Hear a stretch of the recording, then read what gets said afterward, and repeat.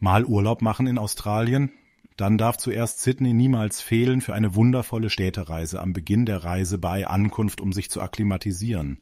Denn Sydney ist eine der schönsten Städte Australiens und bietet eine atemberaubende Naturkulisse, die vom weltberühmten Opernhaus bis hin zu den Stränden von Bondi reicht. Die Stadt ist auch bekannt für ihre entspannte Lebensweise und die freundlichen Einwohner.